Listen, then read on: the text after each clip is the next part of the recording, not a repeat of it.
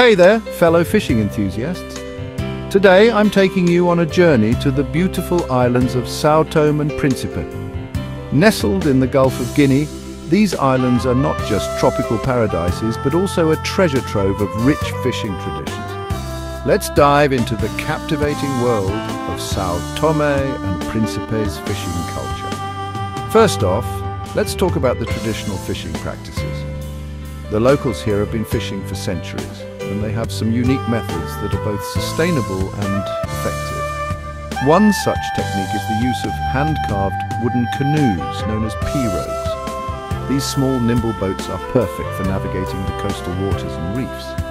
Another interesting method is line fishing.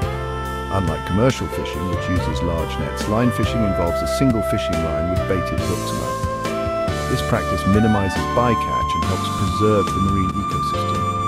It's a technique passed down through generations, and it's fascinating to see it in action. Now let's move on to the types of fish you can find around these islands. Sao Tome and Principe are home to a diverse range of fish species. Thanks to their rich marine biodiversity, You'll find everything from the vibrant red snapper to the elusive barracuda. And if you're lucky, you might even spot a marlin or sailfish. These waters truly offer a fisherman's paradise. But it's not just about the catch. Fishing is deeply embedded in the local culture and community.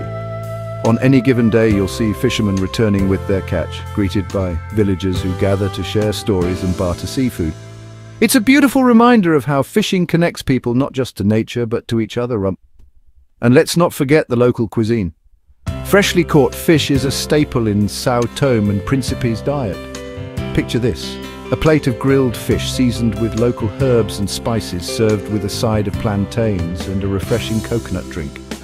It's a culinary experience you'll never forget. So, if you're a fishing enthusiast looking for your next adventure, consider Sao Tome and Principe. Whether you're interested in traditional techniques, diverse fish species, or simply soaking in the vibrant culture, these islands have something for everyone. Thanks for joining me on this journey. If you enjoyed this video, don't forget to like and subscribe for more fishing adventures from around the world. Tight lines, everyone.